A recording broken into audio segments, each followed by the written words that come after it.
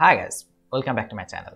In this video I'll show you how to make your portrait more high classy like 3D using just some simple adjustment layer. So let's get started.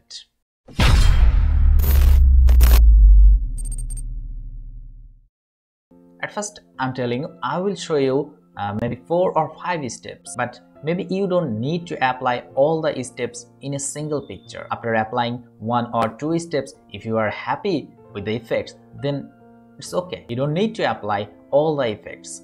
Okay i'm gonna using these pictures and it's really a good picture. And i want to divide this picture in two parts the subject and the background. So in the subject i want to create a warm look and in the background just the opposite one create a cooler look. So i'm gonna use camera this time so copy the layer twice by pressing ctrl and j and hide the first one.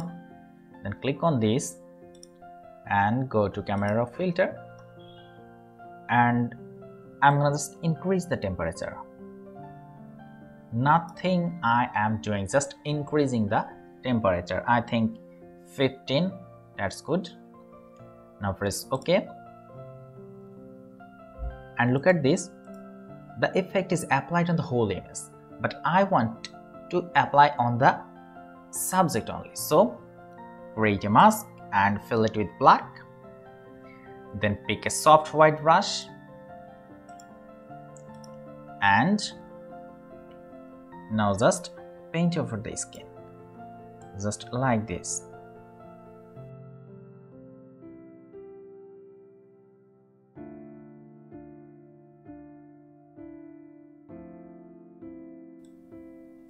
look at the thumbnail. You can always see where you paint. Just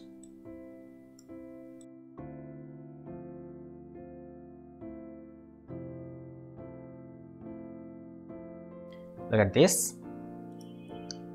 The this area is visible. So i think let's see the before and after. This was the before and this is the after. Look at this and now active the other layer and go to the camera raw again. And now what you will apply? Apply the cooler effect. Just decrease the temperature. I think yeah minus 15 again. That's good. Now press ok and now what? I need the same selection but the opposite one. So I want to copy this mask into the layer 1 copy. So what we're gonna do, press and hold alt and select the mask, then just release the layer 1 copy. And now what? Select the mask again and press Ctrl and I to inverse. Look at this. This is the before and this is the after. And now make a group of these two layer and let's see the before and after. This was the before and this is the after. Look at this. It's already looks great. And now i'm going to the second step. For this creating levels. And i want to increase the contrast of my subject. So bring it here and bring this point a little bit to the right and this point to the left look at this. Let's see the before and after. This was the before and this is the after. Now what you will do copy this mask again by pressing and hold alt and just release in the levels layer. And select areas. Look at this before and after. It's a really a great way and you can always change the opacity if you need. And create another levels adjustment layer for the background. And I want to use the low contrast.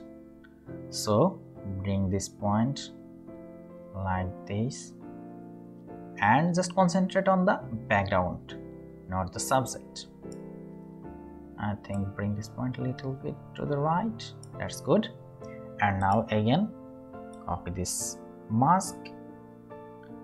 Select yes and just inverse it. Now look at this. This was the before and this is after. Make a group of these two and let's say okay this was the picture and this is after. Look at this. It's really great. Then i'll show you the second step. Create a curves adjustment layer. And here I am select blue. And select the skin tone here.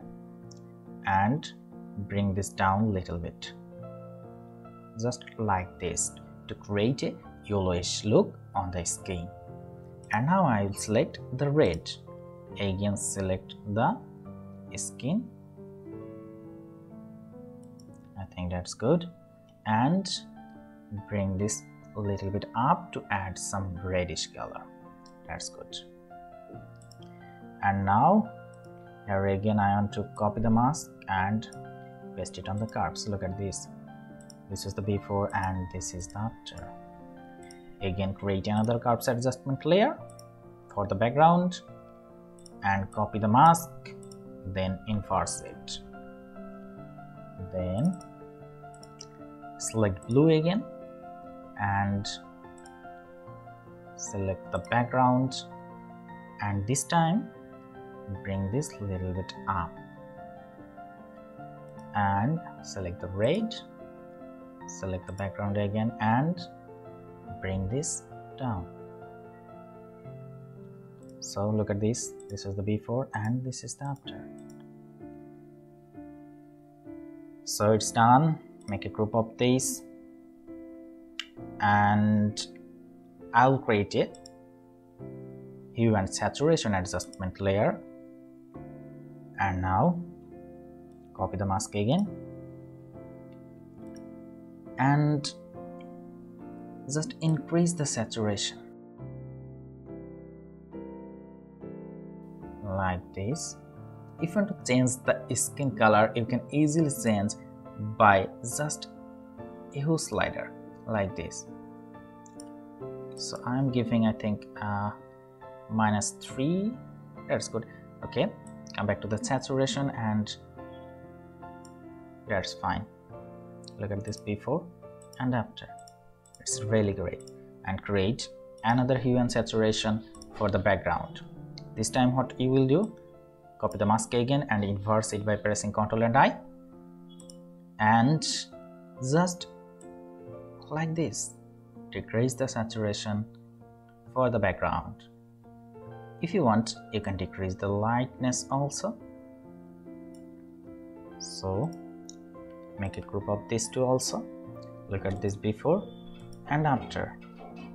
So i think i have shown the four steps you can apply on your image after applying the levels or curves adjustment layer on your image and if you think this is fine for you then it's okay. No need to apply all the effects. I'm just showing you the all steps in a single image but if you don't want to apply all the filters all the effects in a single image then don't do.